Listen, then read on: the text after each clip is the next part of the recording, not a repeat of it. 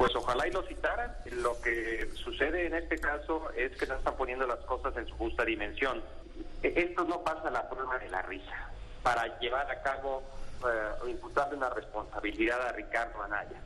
No ha sido citado y, eh, reitero, sí, ojalá y lo citaran para eh, que quedara plasmado en una declaración eh, cuál fue la intervención de la empresa de la cual es accionista Ricardo Anaya.